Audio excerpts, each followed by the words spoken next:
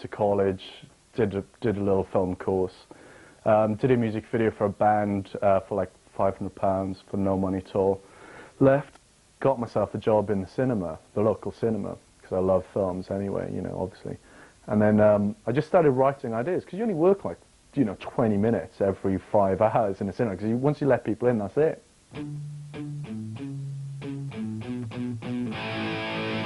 My second video for these Alma Did that for about £8,000. And basically it was a collection of um, photographic images. You'd start off with I, and you'd have a picture of a little boy, a little girl, somebody a little bit older, a, a man, and then you'd go through mother figure, and you'd have like all these perfect mother figures.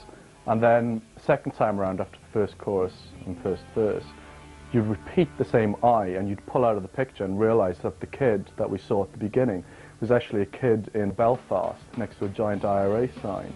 And then it actually got really heavy and really hard hitting. Hybrid was, um, was a real tough one actually. Didn't know they're from Swansea that time. They were basically after a short film. They didn't have to be in the video. They wanted maybe a cameo in it. And it was really, really tough. It was all about revenge. And I eventually came up with this idea of um, this guy in a boot, you know, that's almost typical, went back to basics, gangsters, one guy in a boot, two guys, stereotypes. So I go, okay, you got this guy in the boot, and then I came up with this other scenario about half an hour later. So after they kill him, the guy reappears back in the boot. So I'm like, okay, well that's interesting. That's kind of Twilight Zone. I like that kind of stuff. And then where can you go from there? So I just sat down for hours, my head in my hands, going, where can I go from this idea? You know, walking.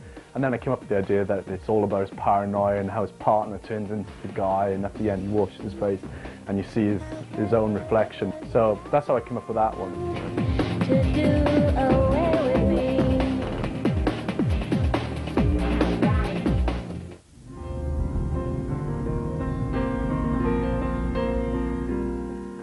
upload a video, um, I thought, beautiful song, epic. Goodbye to the sky. I know I can't fly, but I feel love. Do you know how I feel? You are my Achilles heel. Guy in a car parks himself across the street, you know, and uh, I want to shoot in the middle of nowhere.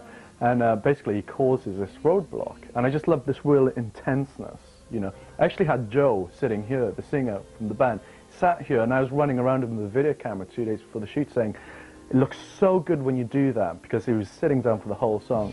I was like, it looks so good when you do that. Let's take that and let's put that in the video.